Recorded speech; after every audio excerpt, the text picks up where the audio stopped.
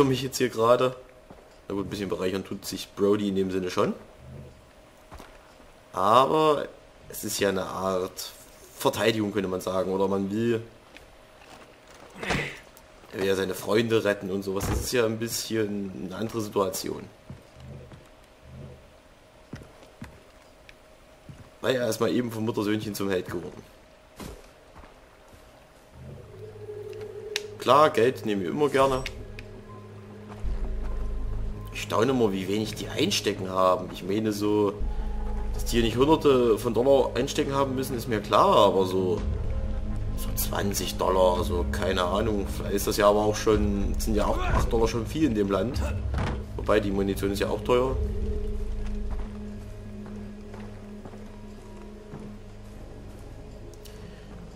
Da oben ist ein Raubtier. Mal gucken.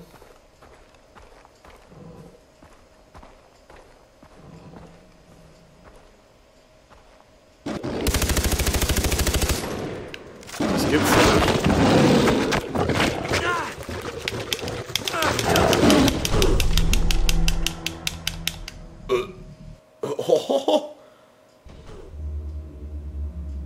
Also das gibt's doch nicht. Der Tiger hat mich einfach mal zerfletscht. Ich habe den Fall mit äh, Kugel durchlöchert. Das muss dem Vieh Auto wehtun. Das ist der Wahnsinn. Jason, das war sehr gute Arbeit. Ja, jetzt erzähl doch nochmal Erzähl dasselbe. mir von deinen Freunden. Im Funk hieß es Waschen im Lösegeld wie... Sorry, wenn ich das jetzt hier unterbreche. Ich lasse ihn auch gleich ausquatschen. Ich habe ihn vorhin, glaube ich, nicht genug reden lassen. Sollte ich vielleicht dann machen lassen. Rostiges Universalmesser, ja, verkaufen. Empfohlene Verwendung Batterien verkaufen, machen wir. Äh, verkaufen. Geld brauchen wir immer. Äh, Tablette verkaufen. Finden wir anscheinend immer wieder den Mist. Polymer, Banknote, äh, verkaufen. Jemand der Schlüssel, wer auch immer diesen Schlüssel verloren hat, wird sie so bald nicht wiederbekommen. Empfohlen wird uns zu verkaufen, aber ich weiß nicht, ist der Schlüssel nicht irgendwo auch wichtig? Ich habe keine Ahnung. der PC auf. PC? PC. Pirates Cove. Wir nennen sie Sunset Cove. Das ist eins ihrer Gefängnisse. Verstehe. Bedenke, Jason, die Stärke, die du vom Pfad empfängst, wird dir siegen helfen.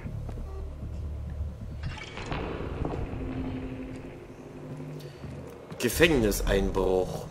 Werden wir auch bald machen. Aber erstmal will ich zuvor wieder natürlich einen neuen Funkturm freischalten, damit uns die Karte offengelegt wird. Wir sollen dahin, da wäre auch noch ein Funkturm. Ich würde sagen aber, wir gehen erstmal hier hin. Und ich kann hier leider nicht markieren, weil das äh, in dem Bereich ist, in dem man nichts sieht. Finde ich trotzdem irgendwie dämlich, dass man das nicht markieren kann. Das muss man doch markieren können. Okay, gut, er kennt die Karte nicht, also... Aber trotzdem.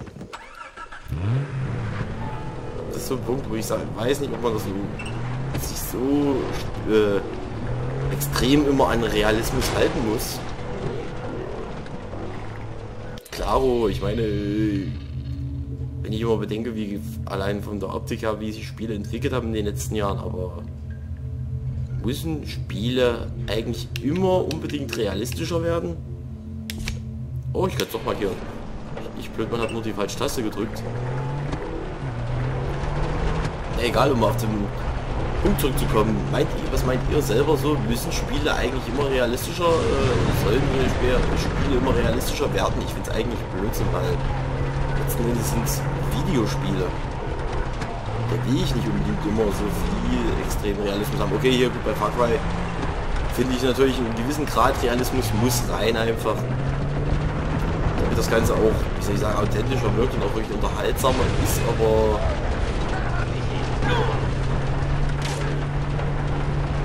ja, die sind natürlich sauer und schießen auf uns. Und ich wette, weiter vorne sind auch noch mehr von den Fratzen.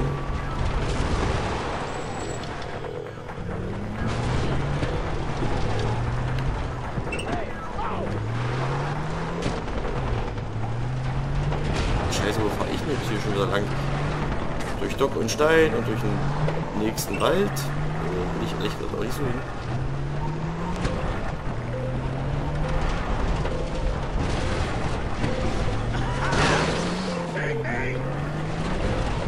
Nö. Ich fick mich nicht. Perfekt. So, ich hab rennt ja auch noch weg. Wo ist denn der?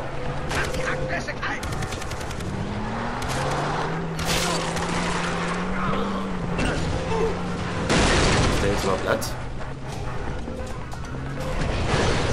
Ja, wir haben wieder zwei neue Fähigkeiten erlernt. Die sollten wir natürlich auch schon schnell verteilen. Spritzenportionierung, ruhige Hand. Das sind die Fähigkeiten vom Reiher. Adrenalin. Verbesserte Erste Hilfe. Eisenflanke. Du verringerst einen Schaden, den du durch Explosion erleidest. Naja, äh, sehe ich jetzt noch nicht so als wichtig an. Irgendwas mit Spinne. Schwimmprofi. Grüner Daumen. Takedown und Verstecken. Das denke ich, sollten wir auf jeden Fall lernen.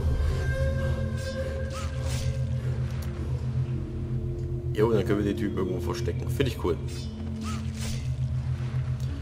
R2, um einen Starter-Takedown einzuleiten, halte schnell danach L2, um den um dein Opfer fortzuschleifen. Benutze RS, um dich um dich umzusehen, wenn du rückwärts gehst. Wieder nach unten äh, lasse äh, es los, um die Leiche abzulegen. Ja, ja, gut, ganz verständlich. So, da haben wir einmal das jetzt noch gelernt. Was ist das jetzt hier? Sprintnachladung Heide gedrückt, um deine Waffe beim Sprinten nachzuladen. Eigentlich auch praktisch, werde ich vielleicht mir als nächstes antrainieren. Was Feldsanitäter ist immer so eine Sache. Teilweise die gelehr äh, Gesundheitsfelder reagieren sich 50% schneller, ist auch praktisch. Verbesserte Erste Hilfe, wenn du keine Medizin hast, halte Y, um mit Erster Hilfe zwei Gesundheitsfelder zu heilen. Hm, klingt auch sehr nützlich. Hier habe ich zwei, hier habe ich jetzt auch zwei, hier habe ich sogar drei. Ruhige Hand, das warten kurz beim Zielen, bla bla bla. Spritzenportionierung Herstellung wirken 25% länger. Äh, ja, weiß ich eben nicht so richtig. Sehen eigentlich alle nicht so schlecht aus. Ich würde sagen, wir machen Adrenalin, oder? Ich weiß nicht. Wobei, ich finde am Anfang vielleicht das hier erstmal wichtiger. Ich nehme jetzt einfach das. Wir werden natürlich noch ein paar Punkte kriegen. Ich weiß gar nicht, ob es bei Far Cry eigentlich sowas wie ein Grenzlevel gibt. Tödlicher Jäger.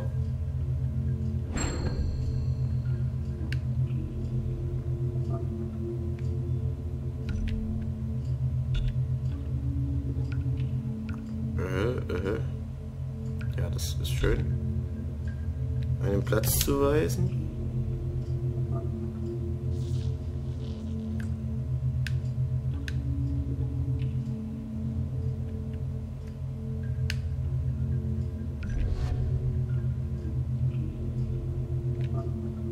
Mhm.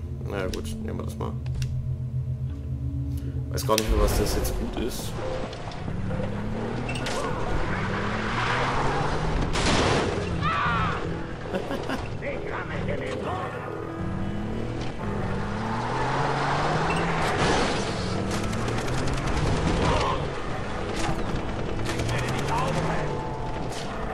Ich will jetzt eigentlich gar nicht so mich mit denen hier rumärgern. Sondern eigentlich nur schnell zu dem Turm kommen.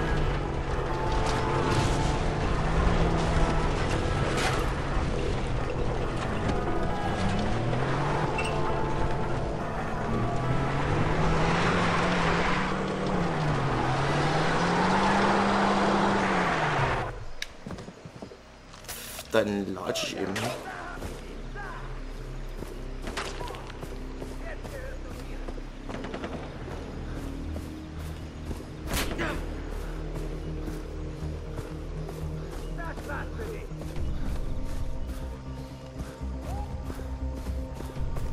Staune immer wieder, dass die einem sehen. Gut, die waren ja ein Stück hinter mir, aber trotzdem.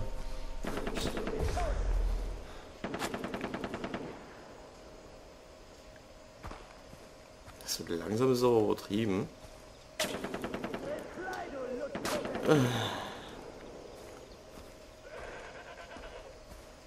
Da vorne ist er schon.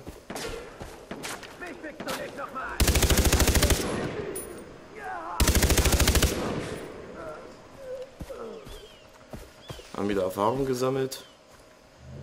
will den eigentlich jetzt... Nein, ich will nicht seine Waffe. Erkennungsmarken können wir wieder verkaufen. Ja, da drüben wird so ein Tigerviech sind. Uh, ja, wie kommen wir jetzt hier hoch? Hier am besten? Hm. Wir sehen ja immer noch nichts auf der Karte. wichtig, darum ist es wichtig, diesen Funkturm freizuschalten und wieder neue Waffen zu haben. Ah, naja, wenigstens finde ich jetzt gut, dass ich jetzt mit Fraps aufnehme. Ähm, weil jetzt kann ich eine schöne Aufnahmesession machen. Das war ein gewisser Vorteil bei Fraps. Äh, warum habe ich jetzt wieder vom Fraps? Ja, ich wollte euch vorhin ja, glaube ich, noch einiges erzählen, aber dann wurde ich wieder abgelenkt. Vom Spielen.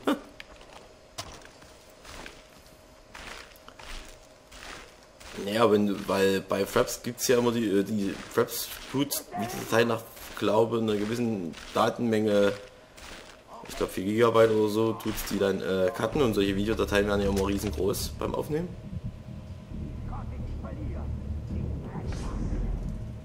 Da müssen wir hin, aber jetzt weiß ich nicht, ob da oben welche sind. Ich hoffe es nicht.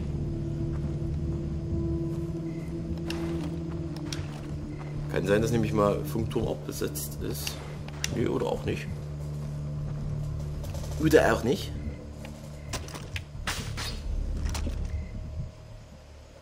Nee, das sind nur Pflanzen, keine Gegner. Das finde ich sehr schön. Und ich denke, ich werde jetzt gleich eine Pause machen, nachdem ich den Funkturm noch eingenommen habe. Hier drinnen noch mal reingucken. Man sollte natürlich immer diese kleinen Hütchen alle durchgucken. Ich will, wenn ich schon wenigstens nicht alles sammle und Pipapo mache, weil ich sammle ja eigentlich gerne in Spielen. Ich lasse mir auch manchmal bei Spielen, wenn ich die Welt so interessant finde, auch wirklich Zeit, bis ich überhaupt bei der Story weitermache.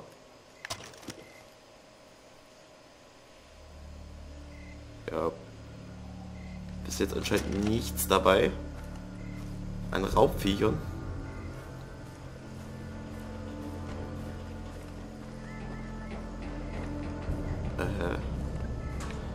So, wo geht's jetzt?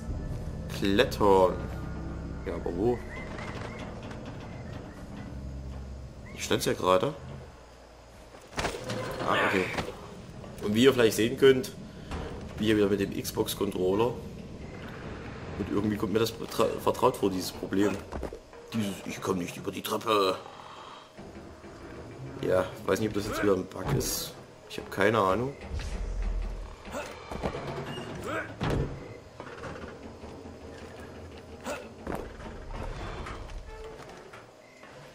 scheint irgendein Problem zu sein. Eigentlich müsste er ja normal hochlatschen können, muss die Stufen nicht springen, auch wenn die, die ein bisschen zerbeult sind. Ich weiß nicht, ob das normal ist. Vielleicht haben da ja andere Leute ganz andere Erfahrungen gemacht. Weiß ich nicht. Meine Grafikkarte ist jetzt nicht die allerneueste, aber sie ist, äh, ist mein Spiel läuft ja, äh, seit ich diese ATI-Karte habe, äh, um einiges flüssiger. Ich habe zuvor ein Video gehabt. Aber ich glaube heutzutage ist das scheißegal, wenn du dir immer die neuen Grafikkarten anguckst. Dann nehmen die sich alle nicht mehr viel. Kommt dann eben drauf an, wie viel, wie der Takt und so der ganze Quatsch ist. So. Wir müssen, glaube ich, höher. Ja, müssen wir. Ich weiß noch gerade nicht an welcher Stelle. Ja, hier ist ein Gerümpel, da muss man anscheinend springen.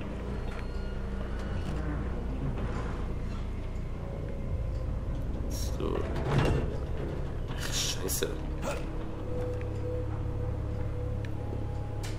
Wird, wird sicherlich eine Stelle zu oben drauf Klettern wieder geben, denke ich mir mal. Aber wo?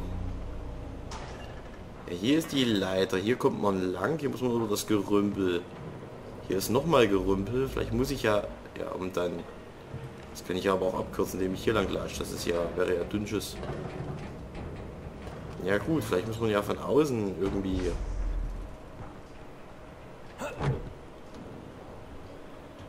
Ja, werden wir noch tun. Wir werden noch alles erkunden hier. Keine Sorge. Wir werden auch nach Sunset Grove fahren.